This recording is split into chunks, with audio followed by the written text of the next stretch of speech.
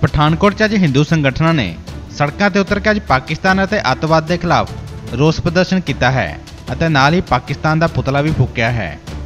ਇਸ ਮੌਕੇ ਪੱਤਰਕਾਰਾਂ ਨਾਲ ਗੱਲਬਾਤ ਕਰਦੇ ਹੋਏ ਸਥਾਨਕ ਲੋਕਾਂ ਨੇ ਕਿਹਾ ਹੈ ਕਿ ਪਾਕਿਸਤਾਨ ਨੂੰ ਬਾਰ-ਬਾਰ ਮੂੰਹ ਤੋੜ ਜਵਾਬ ਮਿਲਣ ਦੇ ਬਾਵਜੂਦ ਵੀ ਉਹ ਆਪਣੀਆਂ ਨਾਪਾਕ ਹਰਕਤਾਂ ਤੋਂ ਬਾਜ ਨਹੀਂ ਆ ਰਿਹਾ ਹੈ ਅਤੇ ਅੱਤਵਾਦ ਦਾ ਸਹਾਰਾ ਲੈ ਕੇ ਭਾਰਤੀ ਫੌਜ ਦੇ ਕੈਂਪਾਂ ਤੇ ਹਮਲੇ ਕਰ ਰਿਹਾ ਹੈ। ਜਿਸ ਕਰਕੇ ਦੇਸ਼ ਦੇ ਪ੍ਰਧਾਨ ਮੰਤਰੀ ਨਰਿੰਦਰ ਮੋਦੀ ਨੂੰ ਇਸ ਖਿਲਾਫ ਸਖਤ ਕਾਰਵਾਈ ਕਰਨੀ ਚਾਹੀਦੀ ਹੈ ਇਸ ਮੌਕੇ ਉਹਨਾਂ ਨੇ ਪਾਕਿਸਤਾਨ ਅਤੇ ਅੱਤਵਾਦ ਦੇ ਖਿਲਾਫ ਨਾਅਰੇਬਾਜ਼ੀ ਵੀ ਕੀਤੀ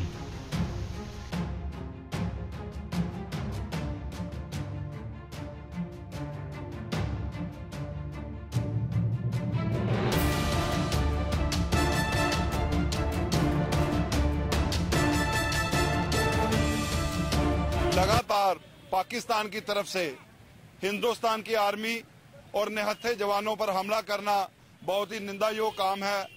आज जम्मू में दोबारा आतंकवादियों द्वारा हमला करके जो सोए हुए हमारे सैनिक थे, उनको निशाना बनाना, उनकी फैमिलीज़ को निशाना बनाना, ये कायरतापूर्ण काम है जो सिर्फ़ पाकिस्तान ही कर सकता है। हिंदुस्तान ऐसा कभी नहीं करता।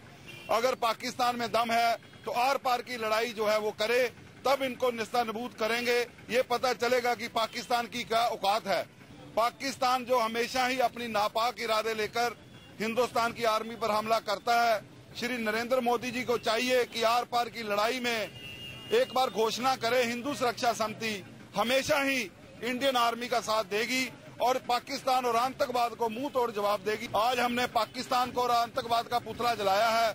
हम मार पार की लड़ाई के लिए भी तैयार हैं। हिंदू सुरक्षा समिति का हर एक कार्यकर्ता बॉर्डर पर लड़ाई लड़ने के लिए तैयार है और आर्मी जवानों का साथ देने के लिए तैयार है। पठानकोट तो कंवर रंधावा रिपोर्ट, पंजाब टुडे।